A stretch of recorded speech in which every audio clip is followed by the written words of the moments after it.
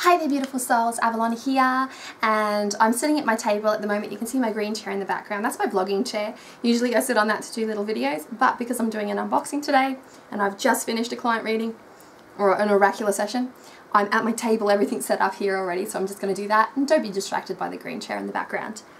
The deck that I will be unboxing today is one that I'm very excited about. Now I did say that I wouldn't be doing too many unboxings so this is one of those very few unboxings that I will continue to do because I'm super excited about this deck and today a beautiful Instagrammer by the name of, if I'm remembering this correctly, re-remembering, remembering this correctly, is Brooklyn Michelle she tagged me in this post going, do you have this deck? And I went, yes I do, but I haven't unboxed it yet. And now you've made me really excited to unbox it. And so I'm going to do that right now. The deck is the Lindstrider Tarot. The Lindstrider. I know, it's been out for ages and I've had it for ages and I haven't unboxed it yet. But I do wait for feelings and things like that to occur um, to prompt me or to inspire me to unbox.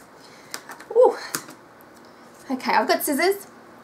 I'm organised. My fingers, you'll see me holding this finger out like this because it has a burn on it that got really sore. Okay, okay, okay. So, the Lindstrider Tarot is by Siolo Thompson.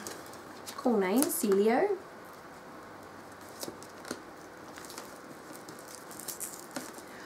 Oh, come on. It's because my damn finger's sore. I can't really just go ferocious with it. Ta-da! Liberated from its cello wrap. Feel some freedom. This is the box. It's, it's a Llewellyn publication. It looks tasty. Oh, wow. Look at that. That looks so tasty. Look at that. Oh my gosh, no.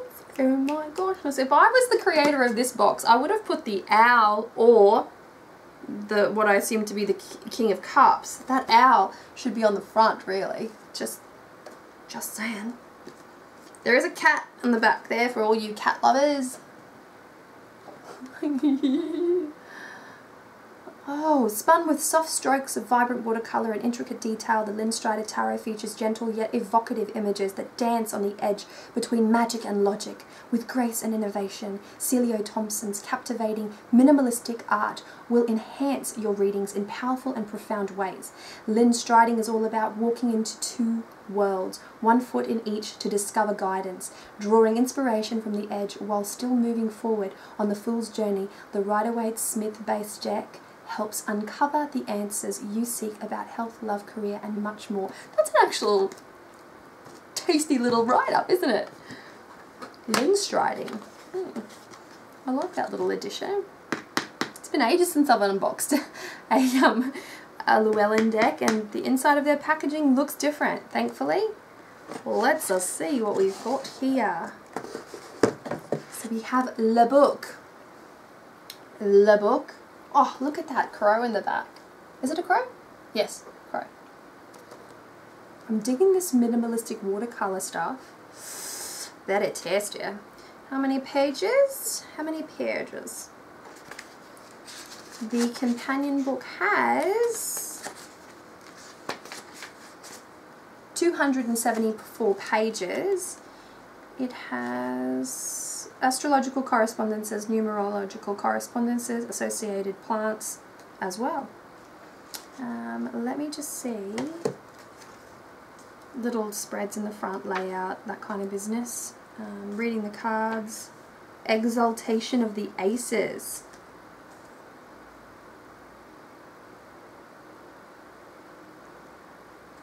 Hmm, that's a little interesting thing. I haven't I I quite like the exaltation of aces in some readings depending on how the energy flows throughout the reading and you can usually see that from the from the overall spread which is why I like to deal my cards face up rather than all face down and then flip them over. It, that doesn't work for me.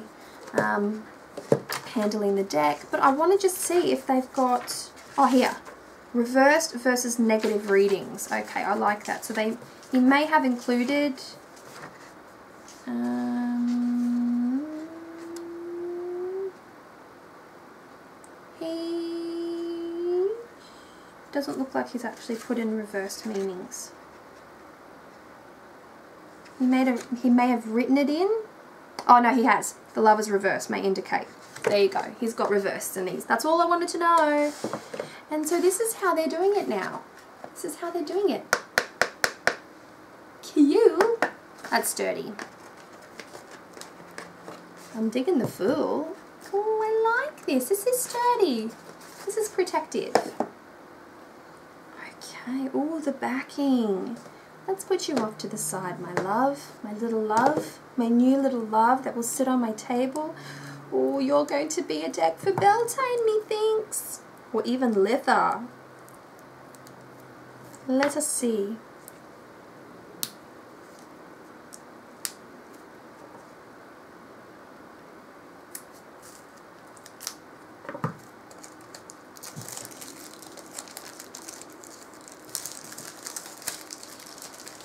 Okay.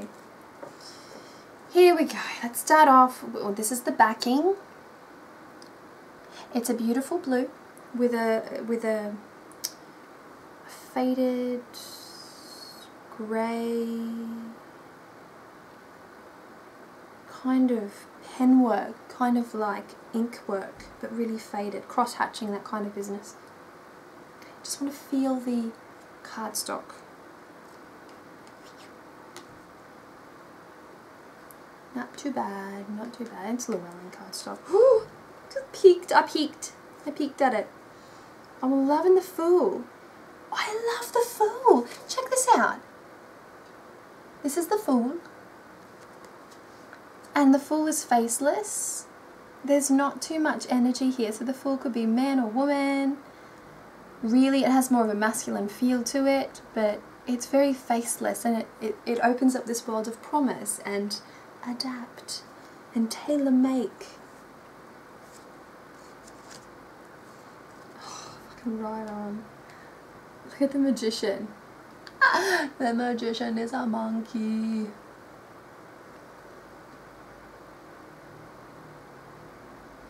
Hmm, I like this. I like that they went for an animal that has a high cognitive function for the magician. Oh, I love this high priestess. Oh, I love this high priestess. Pomegranate? Sickle moon? Antlers. I'm digging it. Look at that. Pomegranate, sickle moon, antlers, blue. There's foliage, an arc, some kind of Sanskrit, I assume, writing. I'm not wearing my glasses so I can't tell. Ooh, partial nudity. Excuse me, excuse me, partial nudity for the Empress. And I love it when they do this with the Empress because the Empress is supposed to be wildly feminine, exuberantly feminine, luscious, luxurious, sensual, beautifully female, voluptuous, all of those good, tasty, awesome things. Let's look at this one. Look at that.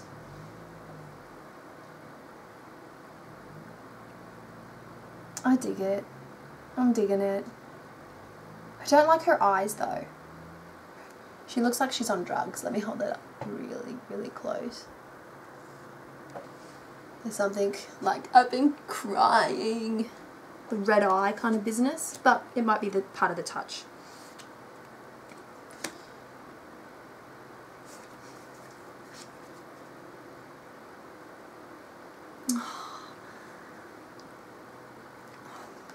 It's the Hierophant card. I always expect so much from the Hierophant card. I need to lower my expectations because I just get angry when I see things that don't that don't do it justice.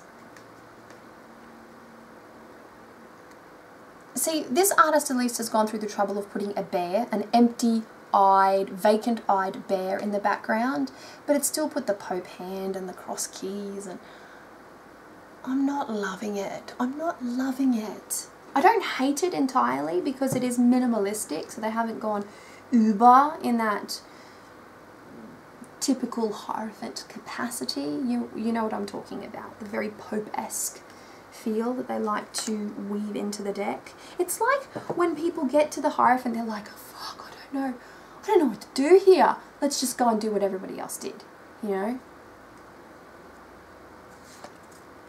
I'll move on. I'll move on. The lovers. Oh, oh, pears. Apples, pears. Apples, pears. Not sure. Not sure, but it's cool. I like that. I like the inclusion of animal energy into this deck.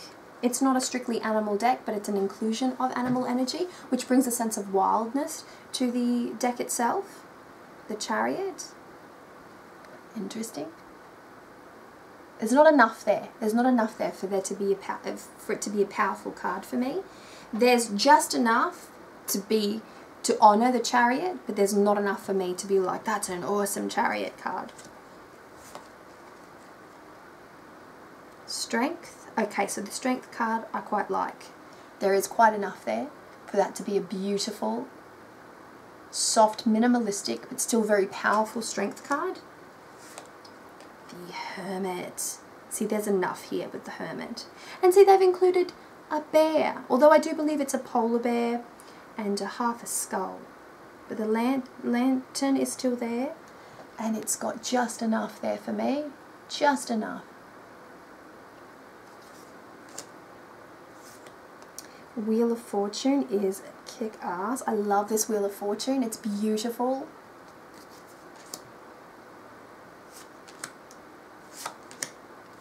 Death.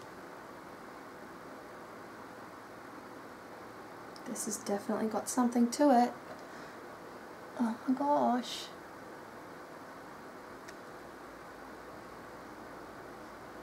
There's got so, there's a lot, there's, mm, it's got me tongue tied.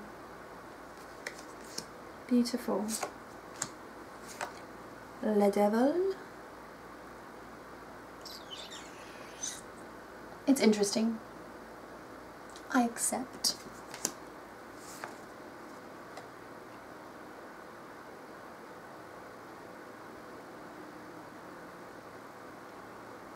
This is interesting, the tower.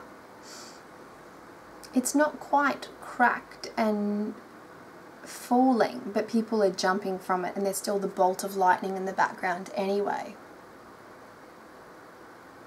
Not sure how I feel about that.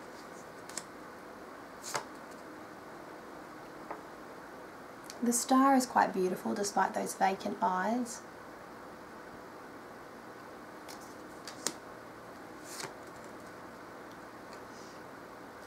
Don't like you. Not a fan of you, not a fan of you. This is the world card.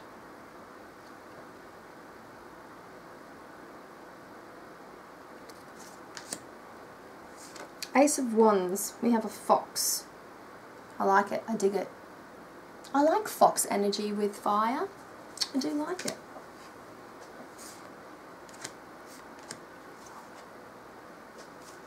Oh, five wands. I just like this for so many reasons. Look at that. That is the Five of Wands.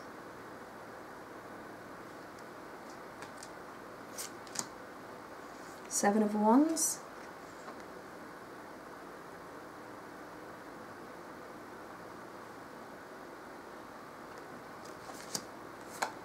The Eight of Wands. I like the Eight of Wands. I like all the eights. I like to look at all the eights in the tarot. Nine of Wands is quite, it's quite cool. It's quite cool. I like that. I dig it. It's an anthropomorphized, I want to say fox. Quite nice. Page of Wands, partial nudity alert. Ooh, there's dragon energy in this one. I'm digging it. I'm digging it. I'm shifting around in my seat because a mosquito has happened to have bitten the very sole of my foot, which, as you know, is difficult to itch. We shall move on, though. We shall move on. Oh, I dig the Knight of Wands. Look at that.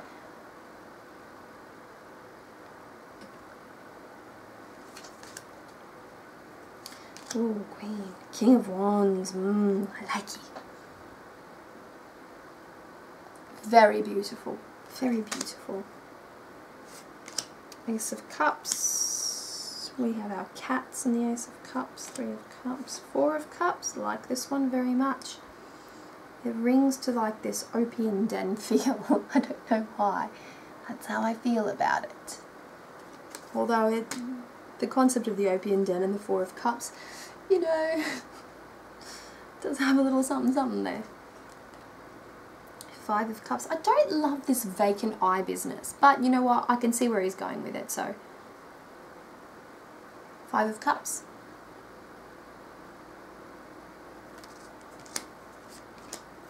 Seven of Cups. That splash of magenta is everything.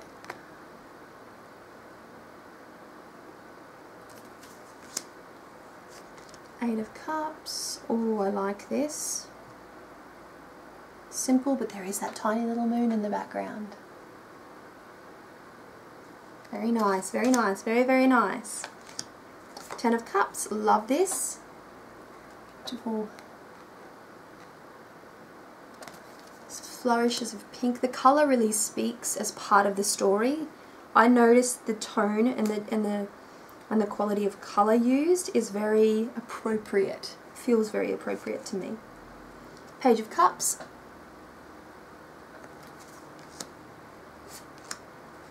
Queen of Cups is on the front of the box, as we see here. That's the Queen of Cups. jellyfish and goldfish, starfish and shell. So if you're an oceanic lover, that one's going to ring true to all the mermaids out there and mermen.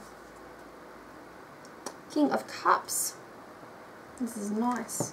It's like a, I don't know if that's a Chinese fighting fish. It feels, the, the looseness of the fins feels very Chinese fighting fish. Ace of Swords. I dig the Ace of Swords being like this eagle. I like it.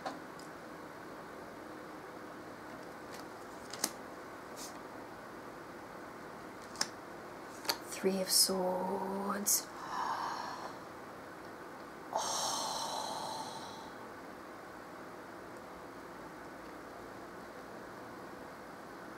I'm just going to hold that there so we can both just share this moment. Look at that.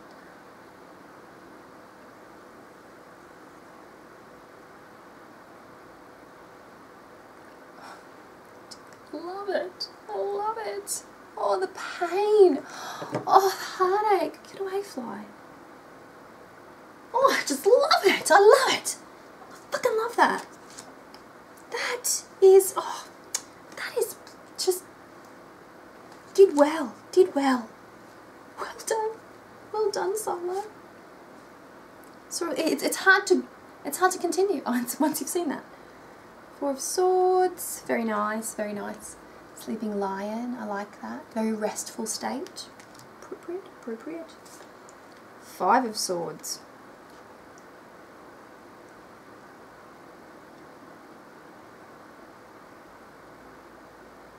Hmm. I don't mind it. It's a fully black and white card. I don't mind it. Six of Swords. We have the traditional Rider-Waite-Smith river or water crossing via boat.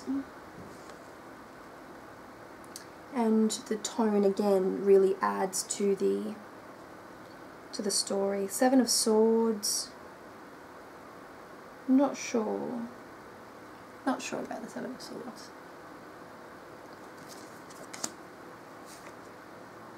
Eight of Swords. Interesting. I like it. I quite like it. Ten of Swords. Oh, shit. Mm. If you are ultra sensitive to animal brutality and things of that nature, I would suggest looking away.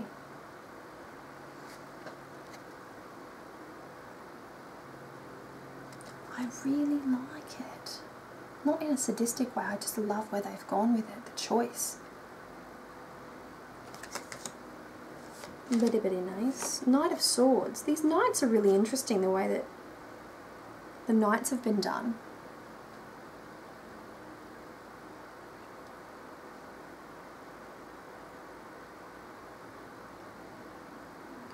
I'm irking about the position of the sphere. I would have liked it down a bit more. Or bleeding, or I don't know. I'm not sure. I'm not sure. I'm just not sure. King of Swords. Very icy, very feathery. It has a coldness to it, a chill, a sharp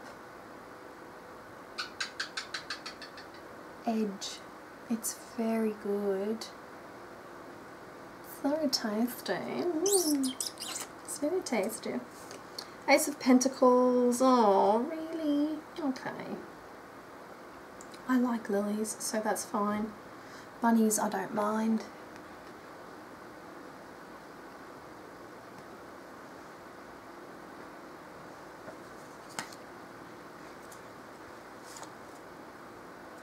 Two of Pentacles. The face of this dude is just priceless. Check it.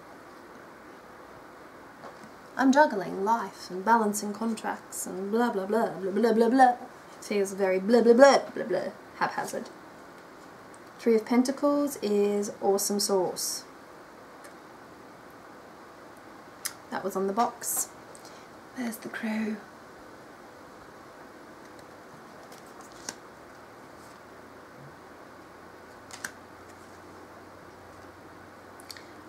Oh, really? I don't like this. The Five of Pentacles just doesn't say enough. Oh, I believe, are they crutches?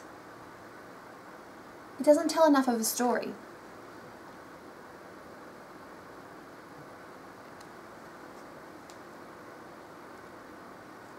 Doesn't quite tell enough of the story. The Six of Pentacles, on the other hand, tells a lot about the story.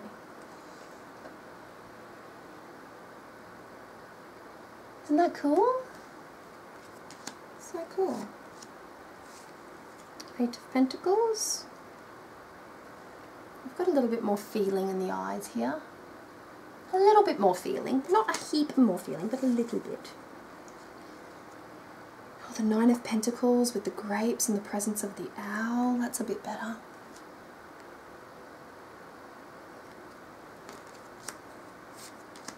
Whoa. Page of Pentacles.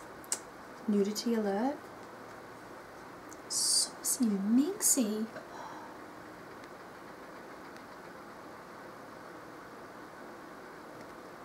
I like it. Oh, here we have another sphere for the Knight of Pentacles. like the horse. I'll bring it up closer, you can see the sphere. There you go, there's the detail. And then the King of Pentacles is that awesome owl.